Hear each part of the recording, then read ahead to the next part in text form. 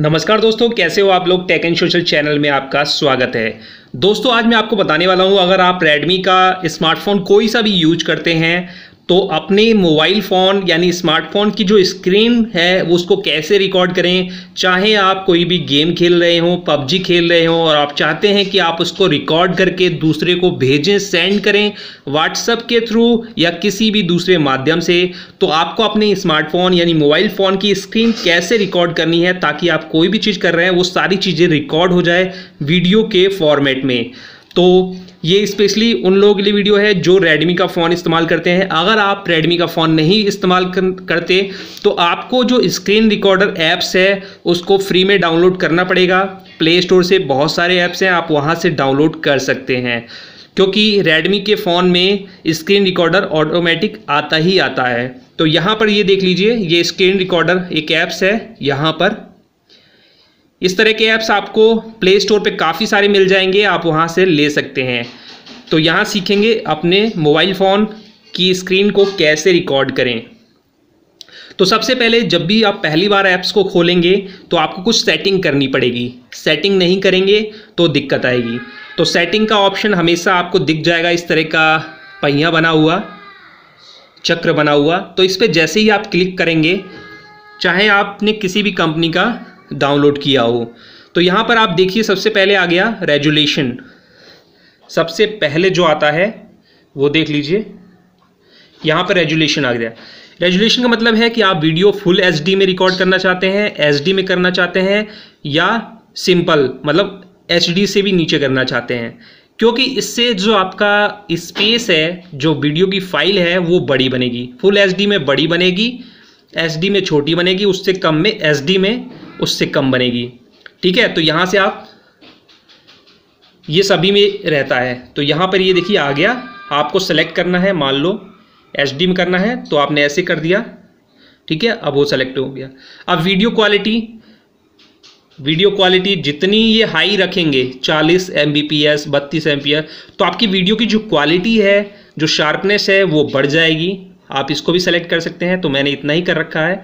और मैं इसको हमेशा फुल एच में करता हूँ तो मैंने फुल एच सेलेक्ट कर रखा है।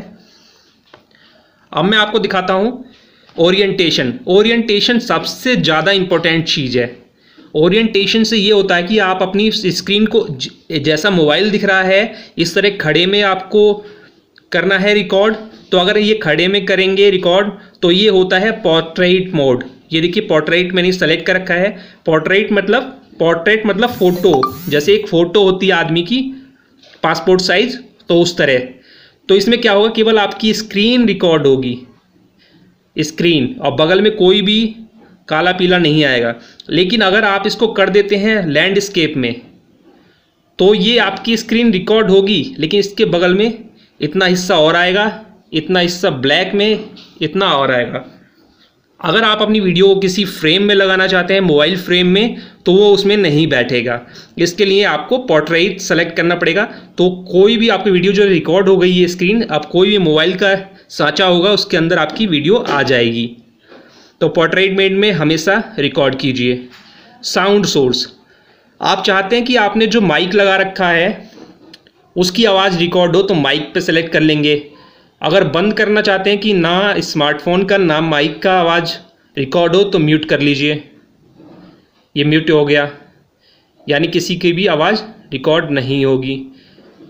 या केवल स्मार्टफ़ोन की आवाज़ रिकॉर्ड करना चाहते हैं तो साउंड सिस्टम कर लीजिए। तो यहाँ मैंने माइक कर रखा है, क्योंकि मैं माइक से कर रहा हूँ। माइक से करता हूँ। यहाँ पर ये है फिक्स फ्रेम रेट। यानी ऑटोमेटिक आपका जो भी एक वीडियो के लिए अच्छी क्वालिटी की फ्रेम रेट होती है, वो ऑटोमेटिक सेलेक्ट हो जाएगा। इसके बाद आ गया नीचे, ये मैंने फिक्स कर लिया ना। और इसके बाद ऑटोमेटिक अपने हाथ से भी आप सेलेक्ट कर सकते हैं। Thirty F P P S twenty four F P S fifteen F P S इसका मतलब होता है फ्रेम पर सेकंड यानी जितना हाइयर आप करेंगे, उतनी अच्छी क्वालिटी की वीडियो आपकी होगी। लेकिन मैंने नॉर्मल कर रखा है। क्योंकि कभी कभी एडिटिंग में आपका सॉफ्टवेयर इसको सपोर्ट नहीं करता। तो मैंने कम कर रखा है। लॉक स्क्रीन टू एंड यानी जैसे ही आपकी स्क्रीन से डिस्प्ले से, जैसे ही डिस्प्ले ऑफ़ होगी, आपकी जो रिकॉर्डिंग चल रही थी वो रिकॉर्ड होके एसडी कार्ड में सेव हो जाएगी, या मोबाइल के इंटरनल स्टोरेज में सेव हो जाएगी। ये इसका मतलब है, ये मैंने कर रखा है। और सो टच गेस्चर यानी मैं रिकॉर्ड जो कर रहा हूँ तो मेरी उंगलियों के जो टच है, पता चलता रहे। तो वो चीज़ यहाँ से पता चलता रहेगा। आप उस वीडियो को देखेंगे तो आपको पता चलेगा आपने कहाँ कहाँ वीडियो में टच किया है। इसके बाद और जो चीज़ें हैं, वो ज़्यादा काम की नहीं है तो वो मैंने नहीं किया। तो इस तरह से मैंने सेटिंग कर रखी है। आपने ये सारी सेटिंग देख ली, एक बार और देख लीजिए। इसके बाद चलते हैं सीधे रिकॉर्डिंग पे। तो यहाँ पर ज़्यादा कुछ नहीं है। ये रिकॉर्डिंग ऑन करना है। यहाँ से मैंने ये रिकॉर्डिंग ऑन करा है तो ये बटन आ गया। स्टार्ट का अभी रिकॉर्डिंग ऑन नहीं हुई है। ये स्टार्ट का बटन आ गया। अब मैं जब भी चाहूँगा, तब मैं इसको रिकॉर्डिंग ऑन कर दूँगा। तो ये देखिए, अब मैं चाहता हूँ कि मैं रिकॉर्डिंग ऑन कर दूँ। तो ये मैंने यहाँ से कर दिया। रिकॉर्डिंग पर टच और ये वन टू नंबरिंग चलने लगी। तो ये रिकॉर्डिंग ऑन है। अब ये आपको मैं यहाँ दिखा देता हूँ। इसको तो आप कहीं भी ले जा सकते हैं, इस तरह से। पता पड़ी आप यहाँ पे रख रखा और यहीं पे टच करना है तो इसको उठा के टच करके और इसको घिसका के ऊपर आप रख सकते हैं। ठीक है? कुछ देर में ये गायब हो जाएगा। ये जो बटन है, ये आपकी रिकॉर्डिंग में नहीं नज़र आएगा। ये एक ख़ास बात है। तो इस तरह से आप अपनी स्क्रीन को रिकॉर्ड कर सकते हैं और कोई भी वीडियो बना सकते हैं। तो इस तरह से आजकल हर स्मार्टफ़ोन में ये चीज़ें होनी चाहिए। काफ़ी काम में आती है ताकि आप अपनी स्क्रीन रिकॉर्ड करके स्क्रीनशॉट लेके किसी को भेज सको। ठीक है? इस तरह से काम आसान हो जाता है। तो दोस्तों, अगर वीडियो अच्छी लगी है तो लाइक कर दीजिए वीडियो को और वीडियो को शेयर करिए ज़्यादा से ज़्यादा। और हमारे चैनल पर पहली बार आए हैं तो नीचे रेड कलर में सब्सक्राइब लिखा हुआ है। वहाँ पर क्लिक करने के बाद बेल आइकन को दबा दें और हमेशा हमारे चैनल पर बने रहें। थैंक यू दोस्तों, मिलते हैं अगली वीडियो में।